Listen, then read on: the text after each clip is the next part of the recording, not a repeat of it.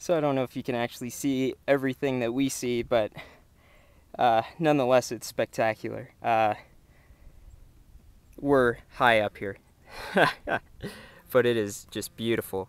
Uh, off that way is uh, Chambéry and uh, the town that we biked from, and uh, several mountains in the background. And over here, around the corner, around this rock, is Lac du Bourget.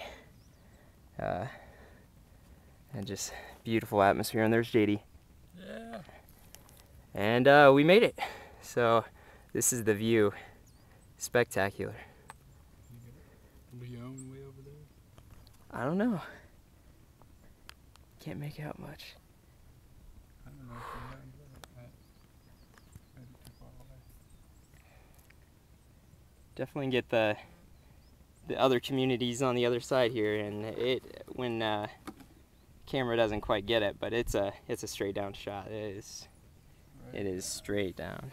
We didn't come up that way. No, we didn't come up that way. We came up this way, which is a straight shot as well, but you know, a little weaving. So, just beautiful. I'll scoot over and then I'll show you the lake.